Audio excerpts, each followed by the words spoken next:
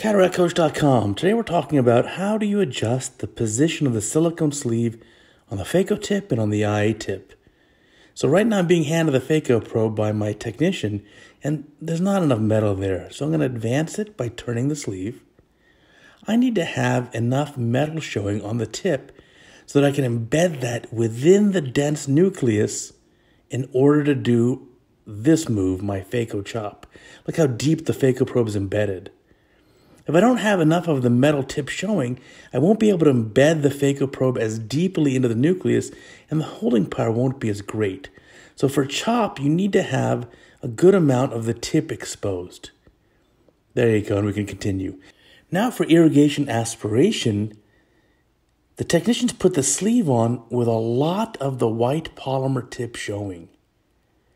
Now, I can still do the surgery and still do the cortex removal with the IA probe, but the difference is there's no advantage to having so much of the tip showing. And remember, where's the infusion?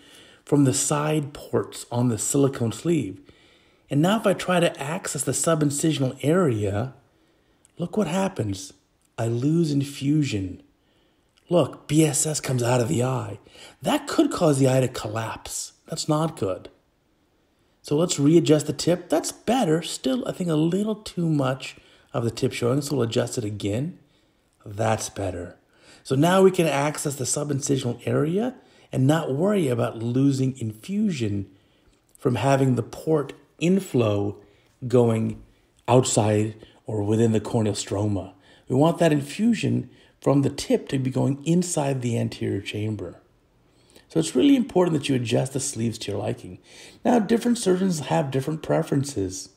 If you're doing a chop technique, you're going to want to show more of the phaco tip, the metal tip, during that step of the surgery.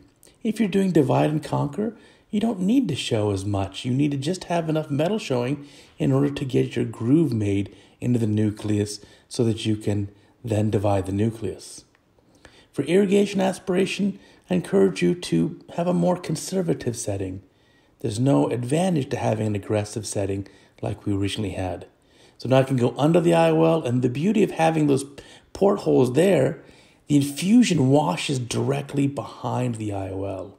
And that's why there's an advantage to having this. You could certainly also do bimanual irrigation aspiration, and then I'll have to deal with these sleeves for IA anyhow.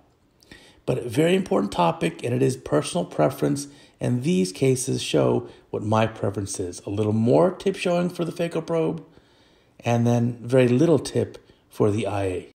Thank you for watching.